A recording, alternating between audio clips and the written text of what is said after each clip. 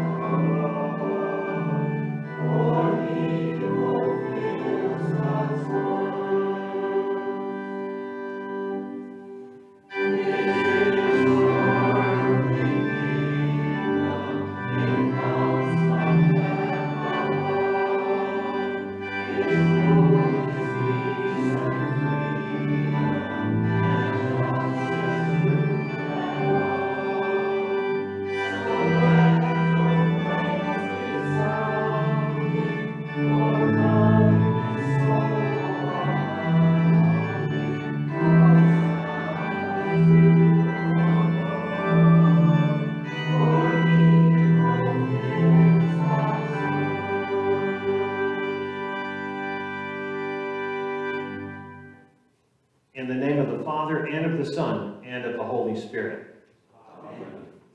This is the day which the Lord has made.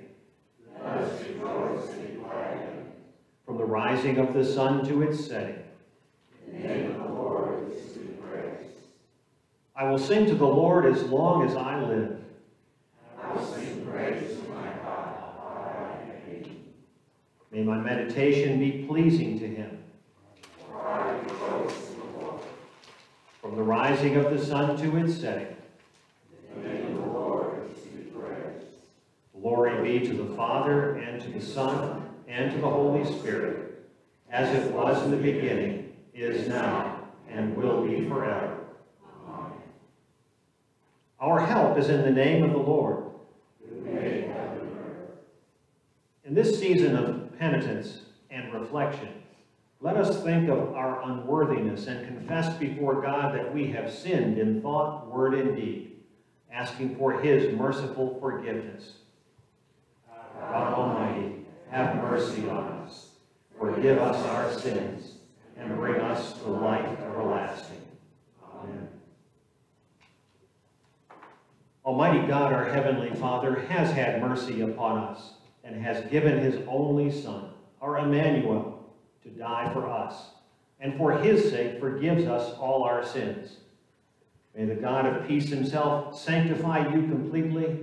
May your whole spirit, soul, and body be kept blameless at the coming of our Lord Jesus Christ. Amen.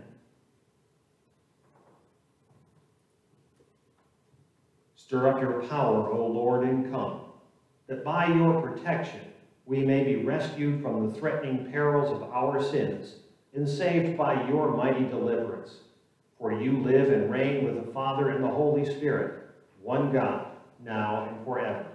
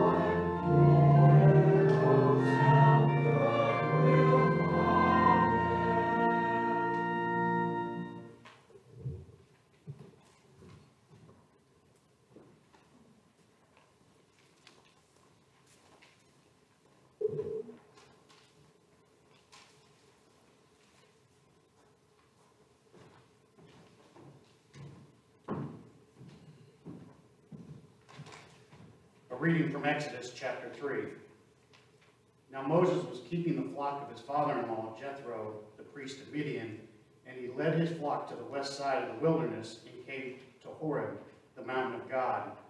And the angel of the Lord appeared to him in a flame of fire out of the midst of a bush. He looked, and behold, the bush was burning, yet it was not consumed. And Moses said, I will turn aside to see this great sight, why the bush is not burned. When the Lord saw what that he turned aside to see, God called to him out of the bush, Moses, Moses. And he said, Here I am. Then he said, Do not come near. Take your sandals off your feet, for the place on which you are standing is holy ground. And he said, I am the God of your father, the God of Abraham, the God of Isaac, and the God of Jacob. And Moses hid his face, for he was afraid to look at God. Then the Lord said, I have surely seen the affliction of my people who are in Egypt, and heard their cry because of their taskmasters. I know their sufferings, and I have come down to deliver them out of the hand of the Egyptians, and to bring them up out of the land to a good and broad land, a land flowing with milk and honey, to the place of the Canaanites, the Hittites, the Amorites, the Perizzites, the Hivites, and the Jebusites. And now, behold, the cry of the people of Israel has come to me, and I have also seen the oppression with which the Egyptians oppress them. Come, I will send you to Pharaoh, that you may bring my people, the children of Israel, out of Egypt. But Moses said to God, Who am I that I should go to Pharaoh and bring the children of Israel out of Egypt? He said, But I will be with you, and this shall be the sign for you that I have sent you. When you have brought the people out of Egypt, you shall serve God on, on this mountain. Then Moses said to God, If I come to the people of Israel and say to them, The God of your fathers has sent me to you, and they ask me, What is his name? What shall I say to them? God said to Moses, I am who I am. And he said, Say this to the people of Israel, I am has sent me to you. O Lord, have mercy on us. Thanks be to God. The earth is the Lord's and the fullness thereof. The world and those who dwell therein, For he has founded it upon the seas. and established it upon the rivers. Who shall ascend the hill of the Lord? And who shall stand in his holy place? He who has clean hands and a pure heart. Who does not lift up his soul to what is false, and does not swear deceitfully, He will receive blessing from the Lord. And righteousness from God of his salvation. Such is the generation of those who seek him. Who seek the face of the God of Jacob, Lift up your heads, O gates, and he lifted up the holy doors, that the King of glory may come in. Who is this King of glory? The Lord strong and mighty, the Lord mighty in battle. Lift up your heads, O gates. and lift them up the holy doors, King of glory in. Who is the King of glory? The Lord of hosts, he is the King of glory. A reading from Isaiah chapter 25. On this mountain the Lord of hosts will make for all peoples a feast of rich food, a feast of well-aged wine, of rich full of rich food full of marrow, of aged wine well defined, well refined. And he will swallow up on this mountain covering that is cast over all peoples, the veil that is spread over all nations. He will swallow up death forever. And the Lord God will wipe away tears from all faces, and the reproach of his people he will take away from all the earth. For the Lord has spoken. It will be said on that day, Behold, this is our God. We have waited for him that he might save us. This is the Lord. We have waited for him. Let us be glad and rejoice in his salvation. O Lord, have mercy on us. Thanks be God. The Lord is at hand. Do not be anxious about anything, but in everything, by prayer and supplication, with thanksgiving, let your request be made known to God. Of Zion, the perfection of beauty, God shines forth. Our God comes. He does not keep silence. Before him is a devouring fire, around him a mighty tempest. He falls to the heavens above, and to the earth, that he may judge his people. Gather to me my faithful ones, who make a covenant with me like sacrifice. The heavens declare his righteousness, for God himself is judge. Offer to God a sacrifice of thanksgiving, and perform your vows to the Most. The Holy Gospel according to St. John, the 15th chapter. You, Lord. Jesus said, I am the true vine, and my Father is the vine dresser. Every branch of mine that does not bear fruit, he takes away. And every branch that does bear fruit, he prunes, that it may bear more fruit. Already you are clean because of the word that I have spoken to you. Abide in me, and I in you. As a branch cannot bear fruit by itself unless it abides in the vine, neither can you unless you abide in me. I am the vine, you are the branches. Whoever abides in me, and I in him, he it is that bears much fruit, for apart from me you can do nothing. If anyone does not abide in me, he is thrown away like a branch and withers, and the branches are gathered, thrown into the fire and burned. If you abide in me, and my words abide in you, ask whatever you wish, and it will be done for you. By this my Father is glorified, that you bear much fruit, and so prove to be my disciples. This is the gospel of the Lord. Praise to you, O Christ.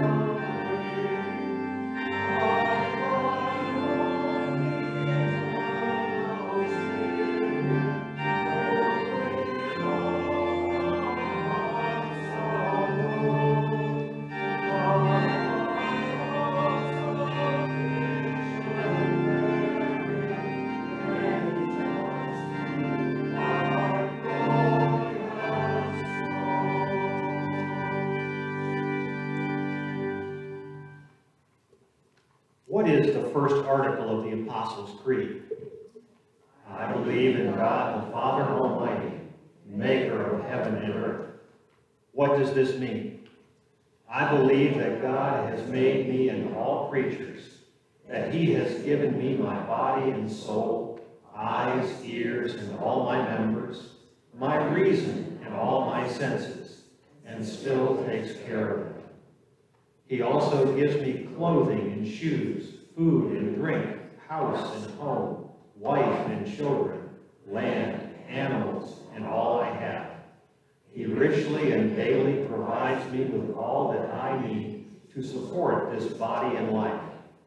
He defends me against all danger and guards and protects me from all evil. All this he does only out of fatherly, divine goodness and mercy, without any merit or worthiness in me. For all this, it is my duty to thank and praise, serve and obey him. This is most certainly true. Grace, mercy, and peace be to you from God the Father and from our, his only Son, our Lord Jesus Christ. Amen. As we begin our midweek Advent worship services, it's always good, I think, to, to think about that first article that we just read together and what Luther had to say about what it really means. How God has blessed us abundantly. We've talked a few weeks ago, maybe a couple of months ago now, about grumbling. Any of us ever grumble? I know I do. Um, especially as you're not finding the things you want in the stores right now. You're, you go to the store and the shelf is empty. Uh, what has God done for me lately? It's good to read through that list and remember, you know what, maybe I can't find that, that special pretzel that I really always wanted on the shelf, but there's an awful lot of other things that God has really taken care of me with. And he continues to be with me and see me through. And that's what Luther reminds us of as we look at that first article. This week, what we're thinking about is really Exodus chapter 3, where we find Moses and that burning bush. God called to him out of the bush, Moses, Moses. And he said, Here I am. Then he said, Do not come near. Take off your sandals. Take the sandals off your feet, for the place on which you were standing is holy ground. Put yourself in, in Moses' place for just a minute. He's out tending the flocks. He's walking along, and suddenly he sees off to the side somewhere this bush that's on fire. Amazing enough that he's watching it burn, but realizes, you know what, nothing is being burned up. What is going on? And he begins to, to go over to take a look when suddenly he hears the voice. God called to him out of the bush, Moses, Moses. That had to be a not just startling moment for him when he hears this voice coming out of this burning bush, but it also had to be one that was filled with a certain amount of fear because anytime anyone ever comes into the presence of the Lord, there's always an amount of fear that is there. It seems from looking at the scriptures that when a sinful creature is standing in the presence of the Lord, the first thing that they are aware of is their sin. I shouldn't be here. I don't deserve to be here. I deserve to die because of my sin. So Moses is suddenly finding himself here. And at first, when you, when, when you hear what they said in the text, they talk about in verse 2 and the angel of the Lord appeared to him in a flame of fire out of the midst of a bush. The angel of the Lord, that's a technical term that appears in the Old Testament. And anytime that you, you hear them speak of the angel of the Lord, you ought to be suspicious that this may well be God that they're talking about, not just some created angel. And that's not to minimize the angels in any way, but God is often referred to in his pre, or Jesus in his pre-incarnate uh, visitations as he's referred to as the angel of the Lord. And what do we find in this text? They intermingle times when they refer to the angel of the Lord, they refer to God, they refer to the great I am. This is Moses finding himself in the presence of the great I am. In a sense, if you want to parallel this to to what happens in Luke chapter 2. You know the great story, the account of how Jesus came into the world. What about those shepherds out in the fields? And suddenly the skies light up and the angels come to them. Not the pre-incarnate Jesus, the created angels in this case, but suddenly there they are and, and there's a message for them. They're to go and see Jesus where they're going to find him. But here for Moses, God has a message. And the message is, I have heard the cries, the groans of my people Israel. Moses, you're going to go to Pharaoh, and you're going to tell him to set my people free. And then we start hearing the griping from Moses, don't we? all, all the excuses that he can come up with as to why he ought not be doing that. But God has a rescue in mind. He has in mind that, that he is going to get his people out of Egypt. They have been groaning. They have been complaining. Notice how this works. It isn't Moses goes to God. God comes to Moses. Moses, you're going to do this because I am going to do it through you. God comes to us too. Just like he did to Moses, just like he did through the angels to those shepherds that very first Christmas. He comes to us. He invites us. That's what the gospel really is. It's invitational language. He invites us to receive from him the very gifts that he has for us. Gifts of salvation and life. Christ comes into our world. He takes on human flesh. He lives out the life that we can't live on our own in order that we will be saved.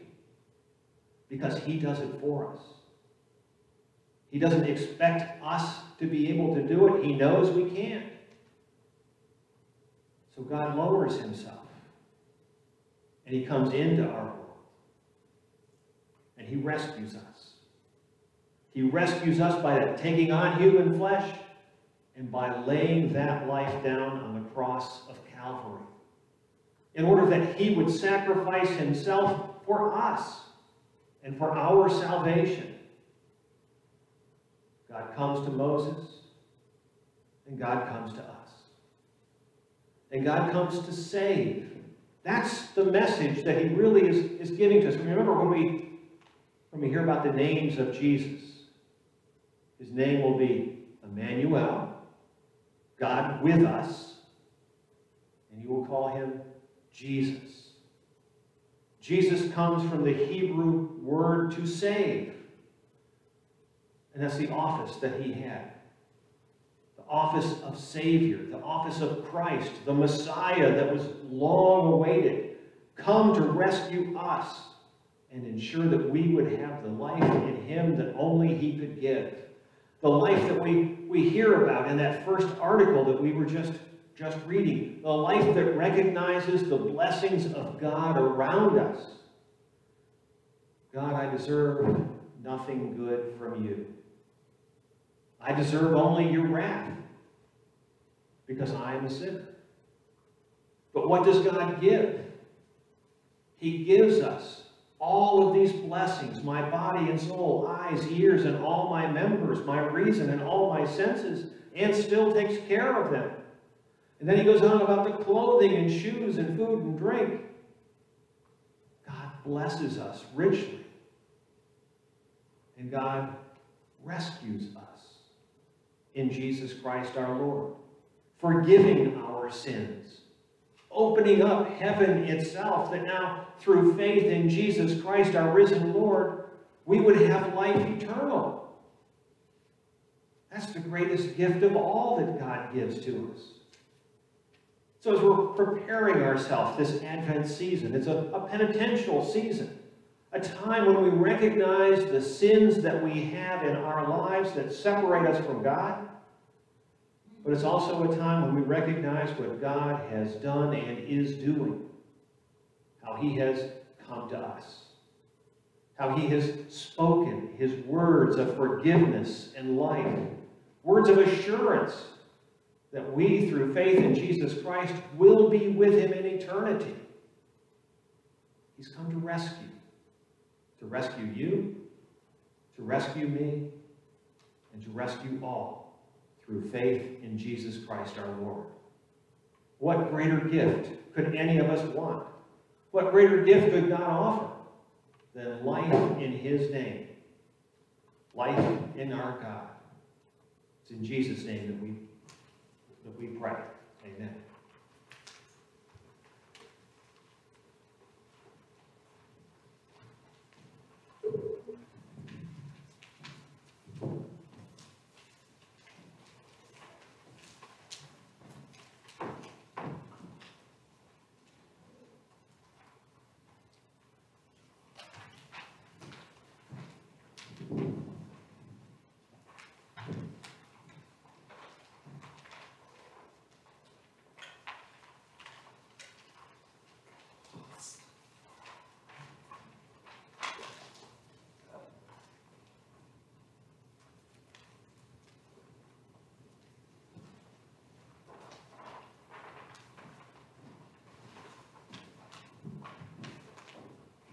Please rise.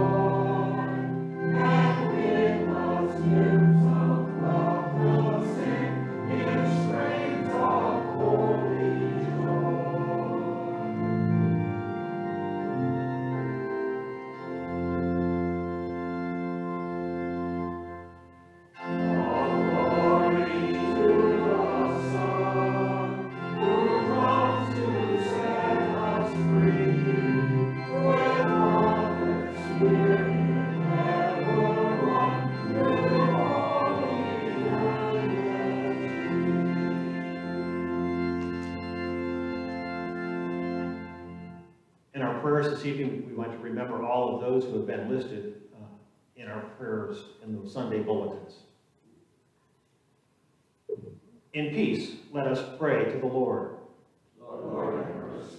For the gift of divine peace and of pardon, with all our heart and with all our mind, let us pray to the Lord. For the Holy Christian Church here and scattered throughout the world, and for the proclamation of the gospel and the calling of all to faith, let us pray to the Lord. For this nation, for our community, for our cities and communities, for the common welfare of us all, let us pray to the Lord. For seasonable weather and for the fruitfulness of the earth, let us pray to the Lord. For those who labor, for those whose work is difficult or dangerous, and for all who travel, let us pray to the Lord.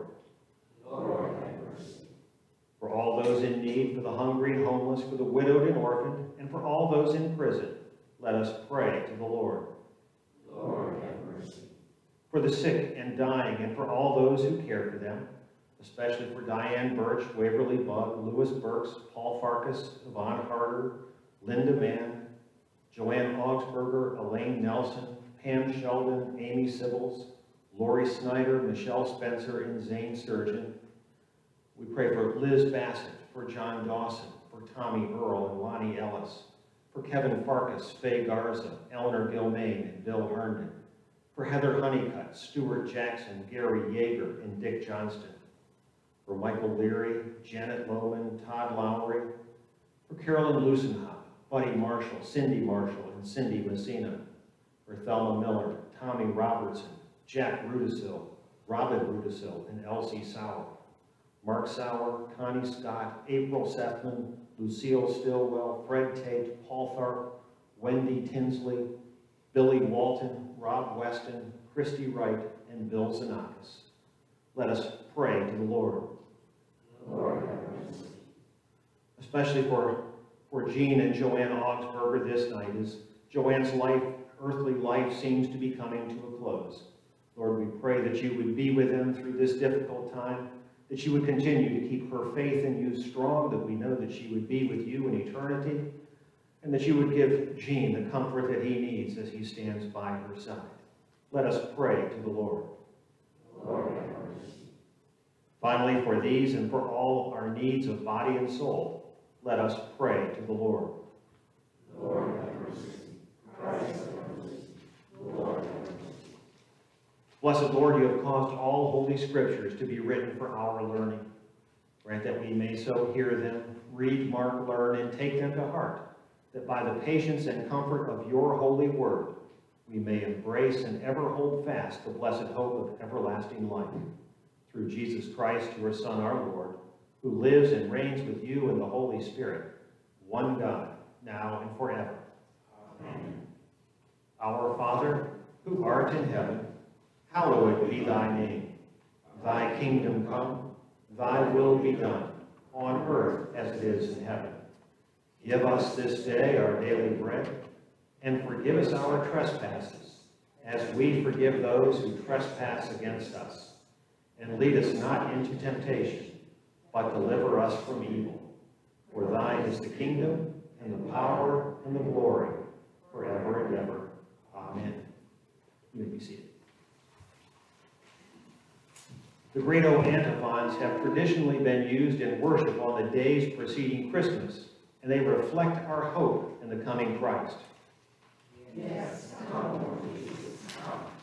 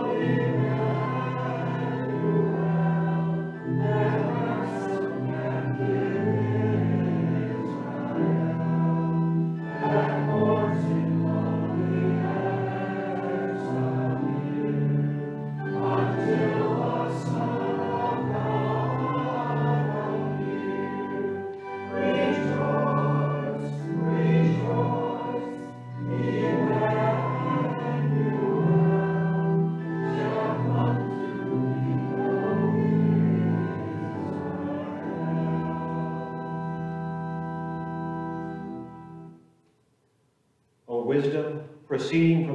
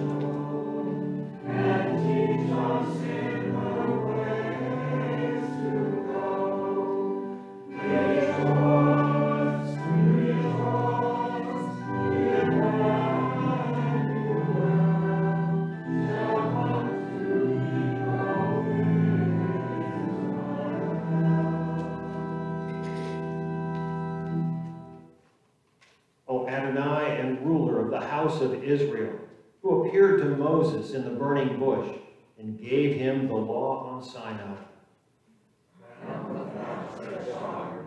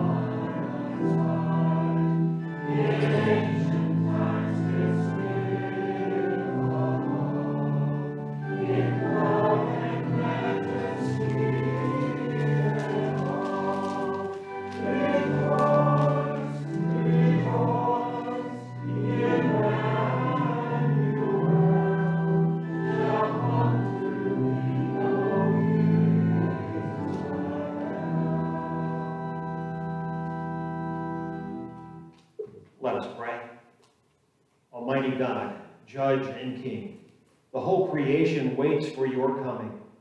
Come, Lord Jesus, with your grace, and fill our lives with your presence.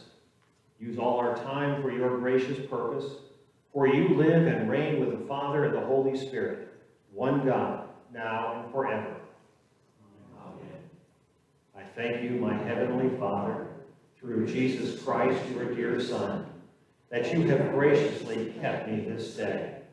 And I pray that you would forgive me all my sins where I have done wrong, and graciously keep me this night.